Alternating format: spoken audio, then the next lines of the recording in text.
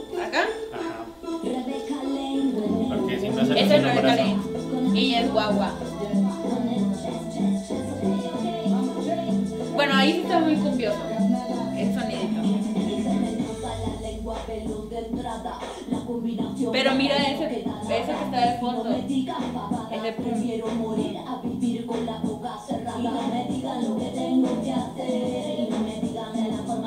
Ese es reggaetón feminista.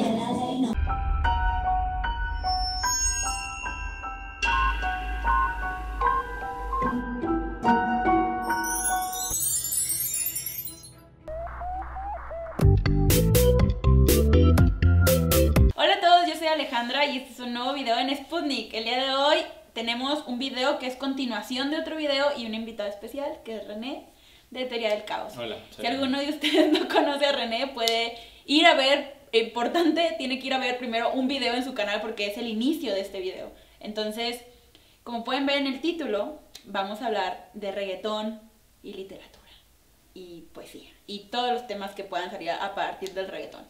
Entonces, si quieren escuchar lo que ya, ya analizamos tres canciones en el canal de René. En el canal de René yo leí las canciones que él eligió de forma poética. Lo disfruté mucho. Y él, ahora en este canal él va a leer las canciones que yo elegí de forma poética. ¿Tú sabes recitar poesía? No, pero ahora voy a hacerlo. Bueno, va a ser el intento. Entonces, la primera canción que elegí, dale, De eh, Atrévete de... De los- Calle 13. De Calle 13, ¿no? que es puertorriqueño. Este es un clásico. Cambia esa cara de seria, esa cara de intelectual, de enciclopedia, que te voy a inyectar con la bacteria, para que des vuelta como machina de feria. Señorita intelectual, ya sé que tienes el área abdominal que va a explotar como fiesta patronal, que va a explotar como palestino. Yo sé que a ti te gusta el pop rock latino, pero es que el reggaetón se te mete por los intestinos por debajo de la falda como un submarino, pues te saca lo del indio taíno.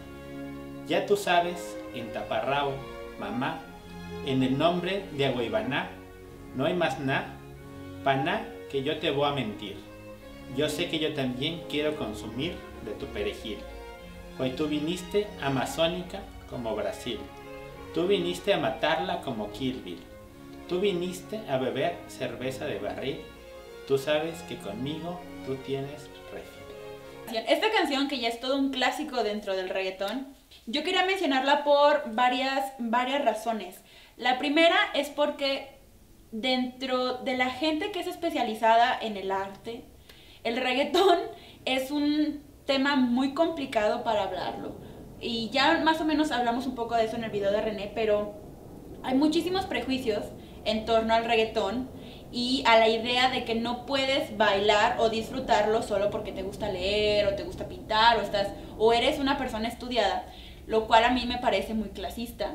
Esta canción me gusta porque es un, una forma, como decía René en el otro video, de decir carpe diem, ¿no? O sea, disfrutar, pues. Coge el día. Y esta, la verdad es que esta canción es como muy literal en muchas ocasiones eh, cuando dice, yo sé que te gusta el pop rock latino, yo sé que te gusta, te gusta Coldplay, te gusta Green Day, lo sabemos y no porque te gusten no significa que no vas a disfrutar sobre todo tu cuerpo. Que creo que justo es algo que, que se ve mucho como en, en cierto tipo de canciones latinas en las que habla de eso. Dices, o sea, ok, sí te puede gustar este, la música gringa o en este caso te pueden gustar este, influencias literarias y tal, pero algo que te dicen en ese sentido es, o sea, también tienes un cuerpo y ese cuerpo también tienes que prestarle atención y ese cuerpo quiere gozar y quiere bailar. Y además, bueno, creo que Calle 13 justo también difiere de muchos grupos este, del inicio del, del reggaetón en Puerto Rico, en que ellos también tienen una preparación universitaria y creo que se nota mucho en lo complejo que son las letras de Calle 13, ¿no? Y aparte este, este fragmento que, que leímos, pues justo pues mezcla como muchas eh, referencias culturales. Y yo creo que en parte me llama mucho la atención, por ejemplo, eh, con Lady Gaga, que a veces suelta como por ejemplo referencias de Hitchcock, que creo que no lo hacen como por ninguna otra razón más que para justo decir, tú crees que soy un cantante de reggaetón y entonces no sé nada de la vida, no sé nada de cultura, no sé nada, pero sí sé y casi casi nada más por eso la suelta, ¿no? Es como el name dropping, pero así como en otras canciones, los, el name dropping que dicen, pues dices, este, Gucci, Armani, no sé qué, aquí ellos sueltan referencias culturales. ¿no? Entonces yo quería mencionar esta letra porque sí creo que es un parteaguas para el reggaetón que, que después nos ofreció como todo el sistema cultural musical. La siguiente canción es una canción de, eh, también ya mencionamos anteriormente a J Balvin, pero a mí me gusta mucho esta canción. Ahí vamos de José Osorio Balvin. Balvin. No importa si estás lejos, siempre te siento presente. Estoy pendiente de ti frecuentemente. Cuando estoy en la calle resolviendo mis problemas, es para nuestro futuro y no sé por qué me celas. No soy un santo, tampoco ando en cosas malas. Cuando no estoy contigo, es porque ando con mis panas. Somos polos opuestos y por eso nos gustamos. ¿Qué más le vamos a hacer si así nos enamoramos? Y ahí vamos. Ah, ah, ah. Peleamos, nos arreglamos, nos mantenemos en esa, pero nos amamos. Ahí vamos. Yo quería mencionar esta canción por varias razones, pero la primera porque muchas de las quejas que hacen sobre esta canción es porque el título dice ahí vamos. Entonces, quiero decirles a gente que hay algo que se llama licencia poética y que sí es verdad que lo correcto sería escribir ahí vamos, pero obviamente la canción está siguiendo y las canciones de reggaetón la mayoría están siguiendo algo fonético más que algo mm, escrito. Y eso es algo que me gusta porque juegan mucho con los sonidos y juegan mucho con el lenguaje y con la forma de hablar de la zona de, de la que están. O sea, Atrévete tiene un montón de, de referencias y juega mucho con la forma en que se habla el español en Puerto Rico. Ahí vamos también lo hace, también lo hace, por eso es ahí vamos, porque no dice ahí vamos, la canción en ningún momento dice ahí vamos correctamente, sino que dice, ay, pues ahí la llevamos, ahí vamos.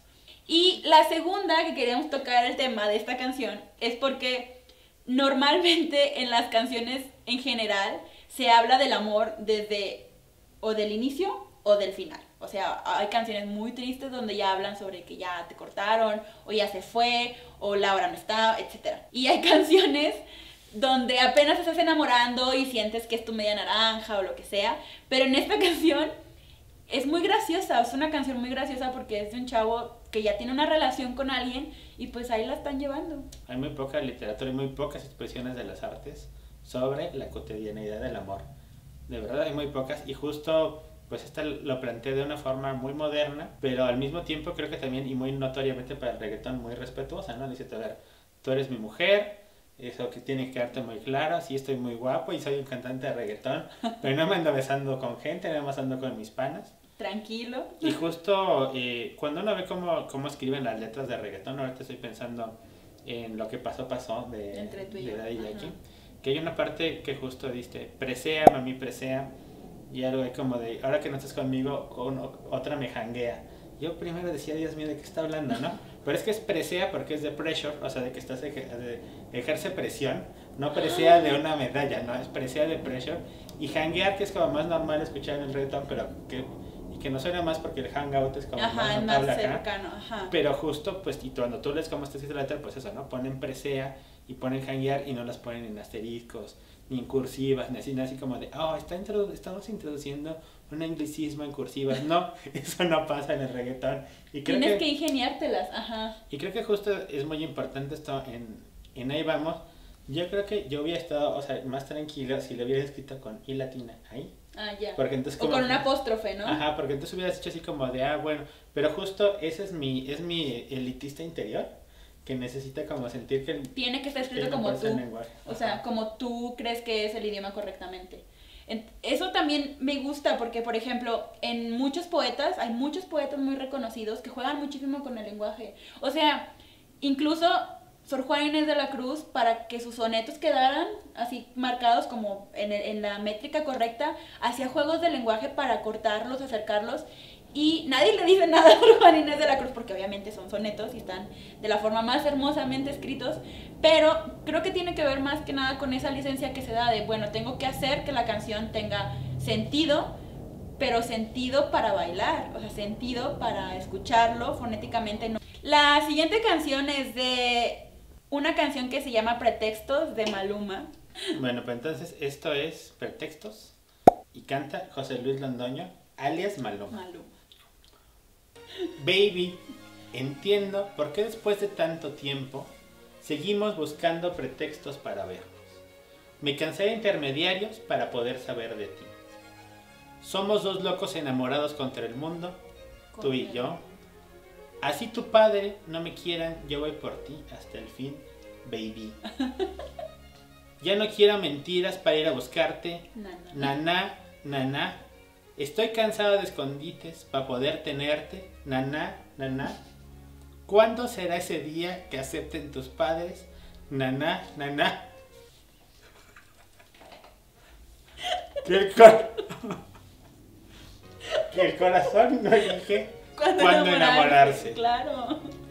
Yo estoy harto de mentiras y decir las cosas como son.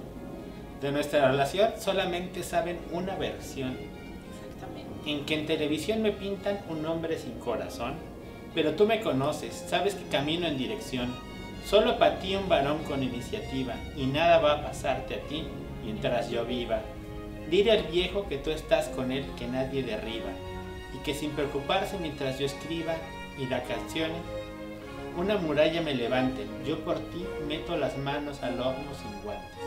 Múdense de mi casa, no vivan el durante, yo juré de mi vida dedicarte el restante. O sea, escogí esta canción porque habla casi todas las canciones de Maluma, de verdad, pobrecito, tiene muy mala suerte con las mujeres. Esta canción es Romeo y Julieta. es una ver- todas sus canciones son de imposibilidad o de que la mujer no quiere estar con él o que no quiere contrato con él o que, o sea, el reggaetón que le tocó a Maluma ya es un reggaetón que ha cambiado. O sea, ya no es el reggaetón que decías tú de Daddy Yankee, Don Omar, que es como. Sino que Maluma ya le tocó un reggaetón donde la mujer ya más dice, ay, bueno, pues es que sí quiero estar contigo, pero sin contrato, o solo te quiero para ciertas cosas, no para tener una relación seria contigo. Entonces, esta canción al pobre, pues no lo dejan ver a la mujer y es una historia así de amor desastroso porque no puede verla y por más que quiere que la gente entienda que la quiere bien, pues no le hacen caso. Y la interpretación que hace el puertorriqueño, que es un rapero, que también es, rapero reggaetonero, está padrísima porque habla de cómo él ha tenido que luchar contra esta imagen que hacen del reggaetonero, del rapero, en la televisión, en los medios, y que no porque quiera o porque hable de reggaetón y el reggaetón hable de lo sexual, necesariamente solo quiere lo sexual con él, sino que también quiere pues una relación seria. Yo creo que hay una frase muy importante para comprender la, la literatura de, la, de finales del siglo XX y inicios del XXI que la pronuncia Jessica Rabbit, Roger Rabbit. Ok. que dice yo no soy mala, así es como me pintan. Y yo creo que le pasa un poco eso a los reggaetoneros, pero aparte es injusto, justo porque sale un poco como de no querer escuchar las canciones y querer tener prejuicio. Como yo. Hab- Hablábamos hace, hace un rato antes de iniciar la grabación que justo eh, te dice el reggaetón objetiviza a las mujeres. No se, se les trata como objeto y no como sujeto, pero no es cierto. Las mujeres sí hablan en el reggaetón, hablan poco, pero hablan. Como hablamos justo de que en gasolina, la cosa es que es la mujer la que pide, dice, dame más gasolina. No, es te voy a dar gasolina. Ponte ahí, te voy a dar gasolina. No, es dame más gasolina. Y luego que lo que quiere eh, le dice a Daddy Yankee, ¿no? Ajá. Sí. Y ella dice, dame más gasolina. Si, si ven el otro video que hablamos justamente, es la parte que dice, a ella le gusta agresivo. Ujú. Le dice, le gusta, le gusta rough a lo animal. O sea, es, a ella le gusta. Y que, y que es un poco invertir esta posición, ¿no? Porque es, ok, ella me está pidiendo sexo y me está pidiendo que se lo dé duro. Y, y entonces el- al que se le pone en riesgo la masculinidad es el reggaetonero que tiene que demostrar que puede cumplir. Y creo que es básicamente lo que está detrás de todas las canciones de Maluma, ¿no? Él, él quiere, pero ella dice, bueno, sí, pero sin contrato. No. Él, él, él quiere con ella y se rifa en la cama, pero ella dice, ¿qué crees? Ya se me olvidó y se le borra casi. Se le borró. O la otra de ¿para qué me estás llamando? Que Ajá. dice. Que justo le dice, ¿por qué me estás molestando, Maluma? O sea, sí estás guapo, estuvo bien, pero este cuate tiene coche. Ajá. Básicamente es lo que pasa en el perdedor, ¿no? Ajá. Lo que se ve en esta nueva oleada del reggaetón justo es que esta figura femenina, si ya no solo pide sexo, solo se le invita a que disfrute, sino que es una mujer que ya tiene una postura de negociación, justamente como de iguales, ¿no? En estas canciones de Maluma, como se ve aquí, en la cual es una mujer que ya tiene sus propios prejuicios sobre el género masculino, es decir, no es alguien que está esperando a que llegue Maluma a rescatarla. Yo sé que muchas mujeres justo lo que quieren es que llegue Maluma a rescatarla. pero Maluma siempre se va con las que por algo les dice que no, pero justo lo que se ve ahí es que Maluma les está dando agencia, ¿no? Y es una cosa de la que hablábamos también, como esta reconfiguración de la masculinidad a través del reggaetón. Encontramos que el reggaetón es enteramente heterosexual, por ejemplo. O sea, es importante para... Nunca, no hay canciones que encontremos donde se hable de otro tipo de relación más que hombre-mujer. Incluso en la canción de Vente para acá de Ricky Martin con Maluma, donde pues no tiene nada que ver que nosotros conozcamos la orientación sexual de Ricky Martin, sin embargo sí me parece un poco triste que no se aprovechen de alguna forma lo visual, porque ya hemos visto que en otros videos de Maluma, por ejemplo, en la de Borró Cassette, al final no es la historia de Maluma, sino es la historia de dos chavas, o sea, que tuvieron algo que ver y la chava pues está así como ah, sordeando, como decimos dos regios creo que eso es interesante porque ya se está como reconfigurando, pero aún así en las canciones siempre se refieren a un femenino, o sea, son hombres cantando hacia las mujeres. Y aparte, eso creo que es muy importante también justo en el sentido de que hay muy pocas cantantes de reggaetón. Una como de las primeras cantantes de, reggaetón súper importantes, que es Ivy Queen, que viene como de la misma época de Daddy Yankee. Está ahí como la reina del reggaetón, incluso todo se le refiere, pero no hay muy, hay muy pocas cantantes de reggaetón después. Ahorita en esta nueva ola de reggaetón colombiano hay como más cantantes de reggaetón, pero es muy notorio que cantan reggaetón porque les dicen sus productores. O sea que no, ellas cantarían pop, lo que sea. Eso es algo que, muy importante, que qué bueno que lo recuerdas. Porque yo ya no me acordaba de Luis Fonsi. O sea, de verdad, yo ya no sabía que estaba existiendo, pero se pone a cantar una canción con Daddy Yankee, que es pasito, la de Despacito se llama, ¿no? Despacito. Despacito, que me parece una canción maravillosa, a mí me encanta, porque tiene frases poéticas increíbles, que es la de, que le enseñes a mi boca sus lugares favoritos. Y la otra que es mi favorita, es que dicen, firmé las paredes de tu laberinto, hice de tu cuerpo todo un manuscrito. Súper borgiano, como dijiste. Súper borgiano. Yo ya no me acordaba de Luis Fonsi, pero creo que tiene que ver con esto del mercado, que, que también ya lo tocamos en el video de René, que el reggaetón cada vez está abriendo más en el mercado en, gringo, pues, o sea, más mundial finalmente, pero porque ya se está trabajando desde muchos otros puntos de vista, no el original, que es al que como, como al que le hacemos el feito, que es al que yo llamo reggaetón del viejo, que es de mis favoritos, ¿no? Todo lo que es Don Omar, Daddy Yankee en sus inicios. Creo que esta canción de Despacito va a ser como una explosión muy fuerte, ya se está viendo, está empezando a romper récords en Spotify, en YouTube, en, en ventas, en muchas cosas. Y justo es, digamos, eh, Daddy Yankee dando su brazo a torcer porque es una canción de reggaetón a la colombiana. Es decir, ya no es el reggaetón que él hacía y justo por eso tiene que recurrir a Luis Fonsi, porque de hecho la canción es Luis Fonsi con Daddy Yankee, pero es una canción de reggaetón de puertorriqueños, pero ya hecho a la colombiana, como para decir, a ver, si ese es el reggaetón ahora lo vamos a hacer nosotros todavía, pero lo vamos a hacer mejor. Y justo eso es, este, eso es lo que es muy importante en ese sentido como de, de, recuperar y armar justo como ese gancho que es muy importante de meter pop con...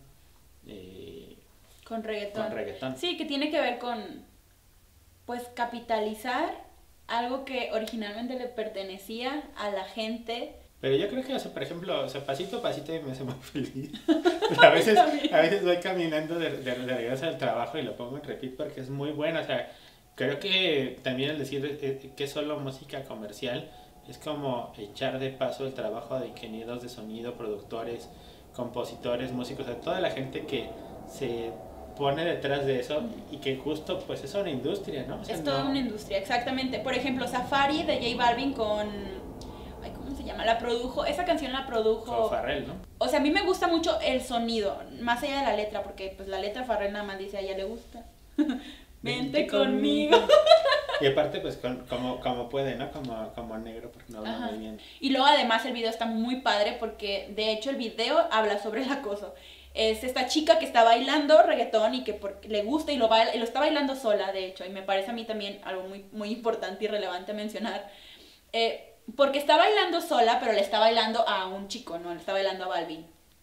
Pero Balvin nada más lo está viendo. Entonces, como se está moviendo muy sugerentemente, Llega un tipo y le agarra la nalga y ella se defiende y le da un botellazo. Se me hace algo maravilloso. Ese video es de los mejores videos que he visto de reggaetón. Porque el hecho de que ella esté bailando de esa forma no significa que está open to business. O sea, es simplemente ella apoderándose de su cuerpo y si me tocas, te golpea. Y aparte justo es eh, volver a trastocar este tema de, del amor como cacería, pero en el cual la mujer es la que está justo de cazadora en primer lugar y en segundo que ella es, tiene toda la libertad de escoger a su presa y justo que es a lo que hablábamos cuando hablábamos en el video que está en, mi canal sobre perreo, que es que pues la mujer en el perreo pues es la que decide si se quiere pegar, tirar al piso o bailar de lejos, ¿no?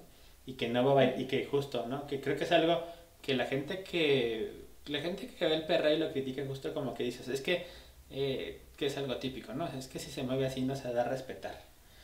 Y la cosa es que no es que ella tenga que dar a respetar, el que tiene que respetar los límites que ella va a imponer, pues es el que está bailando con ella, no, no, no porque se esté moviendo así te vas a acercar y las agarrar. Y, es, muy buena, es muy buena esa parte del video. Eh, le, decía Alejandra que creo que algo de lo que hasta está haciendo el reggaetón, y creo que no lo está haciendo mal, es que está buscando como reconfigurar la identidad masculina heterosexual. Heterosexual, solamente. Pero, pero creo que no es una tarea menor y no es, y no es este... Pero creo que pedirle al reggaetón que fuera inclusivo quizás sería injusto. Al menos en este punto de su desarrollo justo porque el reggaetón de alguna forma, si bien la gente que lo consume, y por consumir dijo como que le gusta bailarlo y escucharlo, en su mayoría es un público femenino, también le habla a los hombres y como que esta nueva ola del reggaetón, si tú vienes escuchando desde gasolina hasta acá, pues te tiene que indicar que las cosas están cambiando, ¿no? Que tienes que agarrar que hay una vuelta de chip y que tienes que empezar a, a, ver tu rol de género, pues ya justo ya no nada más como, ah, necesito tenerla muy grande y tener mucho dinero, sino que ya hay como cosas, este, distintas, ¿no? Pero justo, bueno, ese creo que por ejemplo ahora el trap es lo que está recuperando ese bastón del reggaetón pero el problema, este, Trap, por ejemplo, es Cuatro Babies de Malone, para quien escucharlo por allá. Eso sería todo por este video. Aquí están nuestras conclusiones bastante amplias sobre el reggaetón y por qué aquí lo estamos defendiendo de alguna forma. Espero que se hayan pasado a ver el video de René, si ya les pasaron a verlo y ahora vieron este video, dejen en los comentarios algunas de sus conclusiones o comentarios respecto a esto. No sé si quiere decir algo, René. Pues eso, que creo que hay que darse la oportunidad de escuchar reggaetón. Escuchen, pues quizá de menos estas canciones de las que hablamos acá. Y después, si no quieren volver a escuchar nunca de reggaetón, pues ya no lo hagan. Pero de menos, si se van a quejar, sepan de que se están quejando. Ajá, exactamente, sepan de que se están quejando. Muy bien. Bueno, yo soy Alejandra, esto es Sputnik, él es René, de Teoría del Caos. Adiós. Y nos vemos en el siguiente video. Bye. Bye.